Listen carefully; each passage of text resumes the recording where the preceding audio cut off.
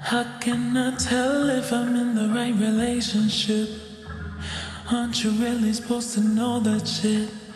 Feel it in your bones and own that shit. I don't know.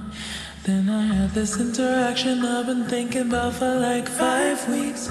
Wonder if he's thinking about it too and smiling. Wonder if he knows that that's been what's inspired me. Wonder if he's judging me like I am right now.